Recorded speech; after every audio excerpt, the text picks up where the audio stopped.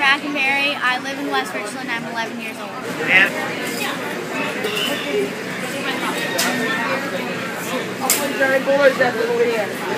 He is a black senior buck, um, which is a boy. Uh, his name is Snickers. He's a Polish. Right now I'm just making, like, I'm having control, so I grab his ears and the back of his neck, like this scruff. Um, it just makes me have more control so he doesn't freak out. This is Laura. She's nine and she's showing her chicken Chica for the first time. Chica is four years old and she and Laura live in West Richland. Laura, can you show me your wing? Show me what you do in fit and show. And this is what Laura does in fit and Putter Fit and Show where she got first place earlier this week. No.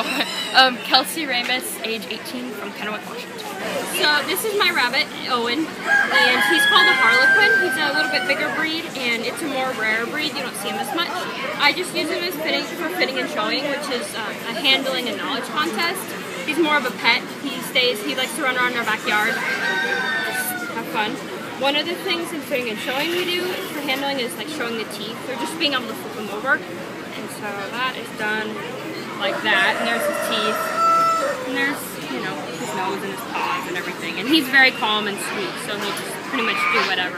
This is one of my market rabbits. Her name is um, Ro, and I'm going to sell her in the market sale on Friday. I will, we are second this year. Poultry will be first in the small animal auction, and then we'll be next. Aaron Mahaffey. I'm 13 years old and I'm from Pasco and this is my blue satin. Uh, her name is Mel.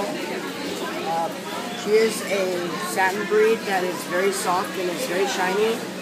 And she's the color blue, even if she looks gray, but she's blue.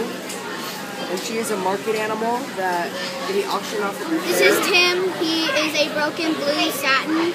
Um, he is not very young, not very old. He's a junior. Um, he's a boy, a buck.